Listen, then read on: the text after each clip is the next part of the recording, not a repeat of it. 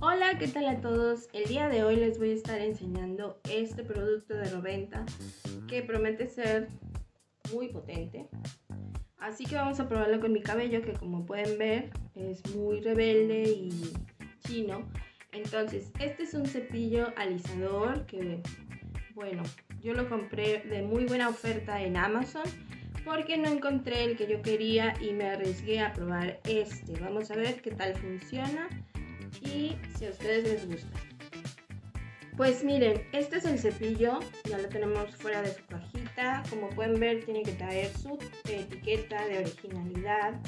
No lo acepté si no trae esta. Y miren, les muestro que el cable o cordón es giratorio. Y esto facilita que a la hora de manipularlo no se nos atore. Yo ya lo tengo conectado o enchufado. Y les voy a mostrar que aquí atrás trae los mandos. Aquí en este botón se enciende el cepillo. Esta ventanita es para subir o bajar la temperatura y en esta ventanita vas a poder ver la temperatura a la que lo vas a usar. La temperatura más baja que tiene es de 160 grados, la siguiente es de 180 y la más alta es de 200 grados. Si te fijas, tiene pelo aquí, pero bueno, es un cepillo muy corriente con el que te peinarías todos los días. La diferencia es que a la hora de encenderlo, esto se calienta y te hace el alisado o alaciado. Entonces, simplemente enchufas tu cepillo y después de aquí lo enciendes y ahí te va a marcar enseguida una luz verde que va a indicar que ya está encendido y automáticamente se pone en la temperatura media. Yo le voy a subir a la más alta porque es la que le funciona a mi tipo de cabello, que como pueden ver es rebelde. Si te fijas la lucecita empieza a parpadear, esto indica que se está calentando el cepillo. Entonces, una vez que esta luz termine de parpadear, que ya se quede fija en rojo totalmente, significa que nuestro cepillo está listo para usarse. Yo en lo que espero que se caliente bien, voy a recogerme unos mechones. Bueno, y como puedes ver aquí nuestro cepillo ya está listo para usarse, ya dejó de parpadear.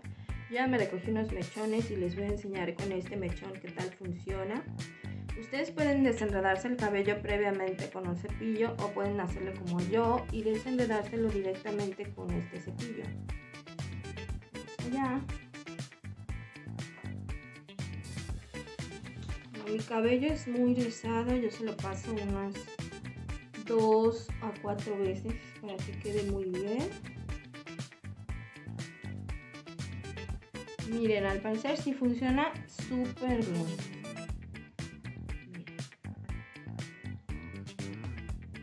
Claro, necesito pasarle más cerca de las raíces para que quede totalmente bien hecho. Pero también tengan cuidado a la hora de acercarse a las raíces. Recuerden que no es un cepillo normal, es un cepillo caliente. Y si tocan su cuero cabelludo pueden quemarse. Pero miren, queda súper bien. Ahora lo que voy a hacer es terminar con todo este lado.